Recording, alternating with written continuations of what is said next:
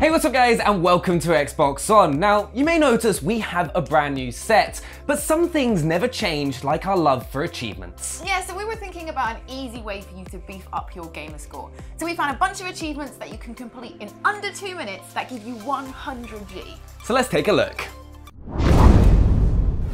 Considering What Remains of Edith Finch is a narrative driven experience with a lot of walking, it's no surprise that the All Roads achievement involves walking around a lot. When you start the game, you'll be in the shoes of Edith as she explains a bit about her family and why she's come to this remote house. The All Roads achievement itself is very easy to get. When you start off, you'll need to walk down this wooded path. Eventually, you'll hit a fork in the road. Choose a path and take it before eventually reaching the house. Now it's time to be really extra and head back down the road you just walked down. I know, I know, what a good waste of precious energy. Eventually, you'll get back to the fork in the road. Now go down the other path choice. As you walk down here, you'll get that sweet, addictive achievement pop up that lets you know you took all the roads possible. Pretty pointless, but who can say no to 100 Gs, eh? If you've never played Deadlight, you're missing a corker of a game. It's a side-scrolling survival adventure set in Seattle that's utterly swamped with undead. It's a bit like Limbo or Inside, but somehow manages to be even more violent and creepy than those two, which is pretty impressive work. What makes it even better is 100 Gs it gives you right off the bat. You don't even have to get within sniffing distance of a zombie to earn it. Once the game starts, head right until you come to a ladder, then climb it and turn back on yourself. You'll soon come to a locker, crack it open to find a heartfelt diary entry detailing one survivor's desperate plight, and more importantly, an achievement. You can fill in both the backstory and your gamer score in one go. Dear Diary, today I found an easy way of cheesing some gamer score and it felt great. Also, Zombies ate my family. Um, swings and roundabouts, I guess. Now, with this achievement, you're going to have to pay close attention to my dulcet tones.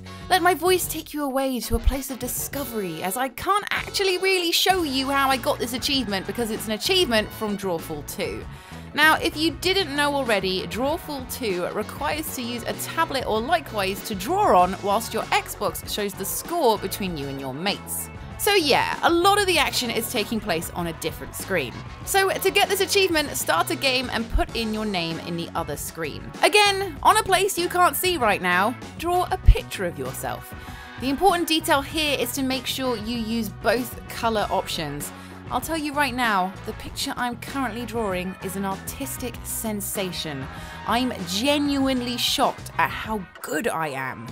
Wow, this is this is breathtaking. This is something else. Anyways, once you accept your masterpiece, it'll head back to your Xbox and the achievement will pop. Ah, there she is. Now that is art.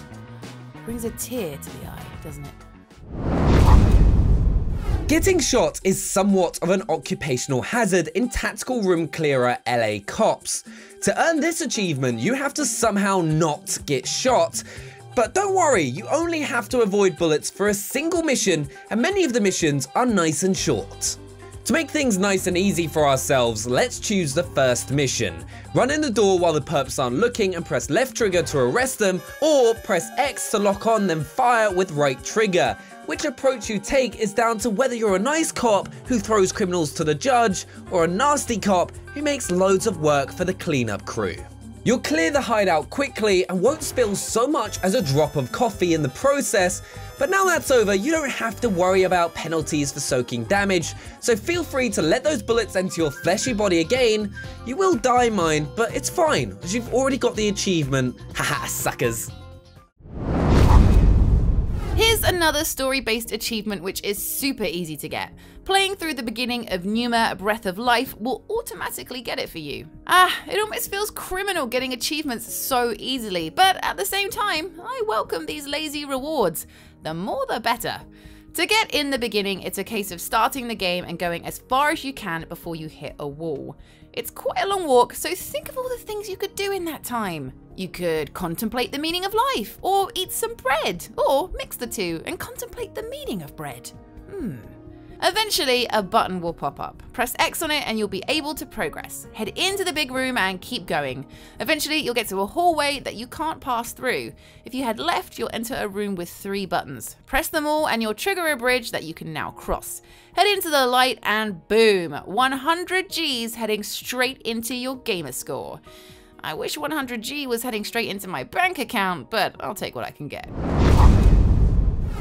Now, on to Pac-Man 256, and the achievement payout is surprisingly decent. A gaming legend hasn't been this generous since Major Nelson offered me a piece of gum at E3, I'm, I'm, just kidding. He, he actually never offered me any gum. Getting a cool 100 Gs is as easy as starting up a local multiplayer mode and seeing it through to completion. You'll need to sign another controller in, which unfortunately requires having friends, but thankfully, both accounts earn the achievement. Double Chivos. To your untrained eye, it looks like I died here, but it was actually all part of my master plan. See, you can perish in an inglorious ghostly killing and still earn the achievement, vastly cutting down the time it takes to unlock it. You don't even have to try.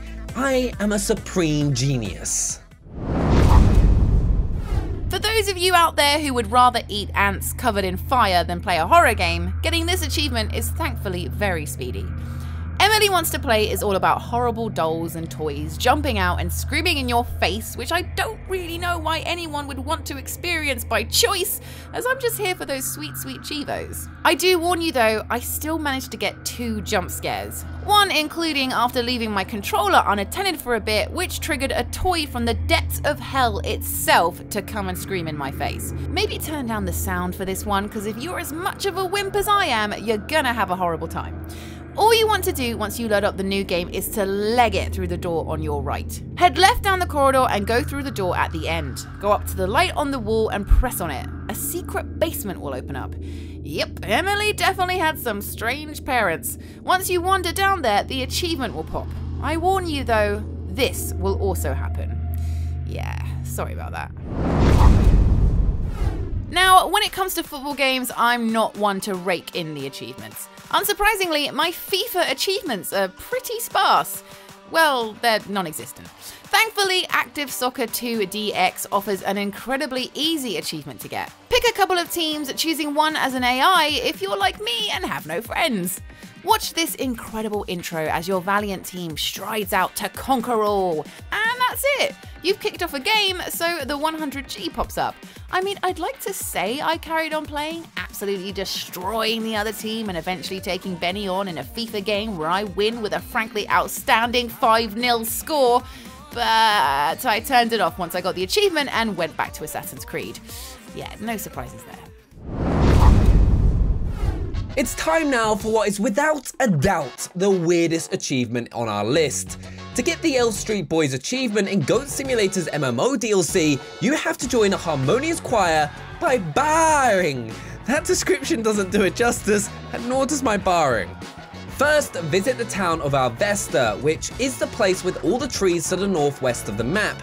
To make it easier, give yourself a jetpack by selecting the mutator before the world loads, but before you question the existence of a jetpack in what is clearly a medieval society, remind yourself that nothing in this game makes any sense. In this hut, you'll find a gaggle of guys lying on the floor. They are none other than the Elf Street Boys, live and in the flesh.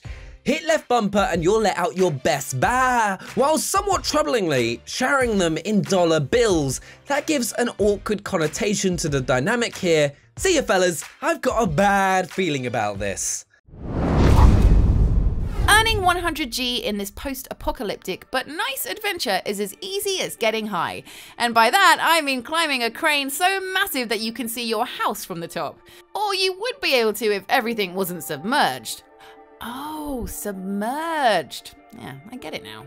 So up we go to grab our achievement. Wow, that's a big ladder. It's like that one in Metal Gear Solid 3, but without the cool music. That's alright, I'll just make my own. Climbing the ladder up towards my dreams. Ooh, climbing the ladder of dreams. Yeah, ladder. Woo! I reached the top and got my achievement with seconds to spare. What a nice view. You can add locations to the map from here. Now it's time to leave and grind my hands down to the bone in the process. Whee! God, that's got a sting.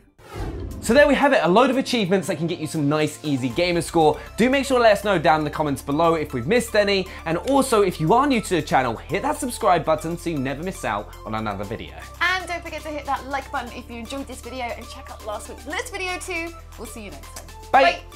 Bye. Okay.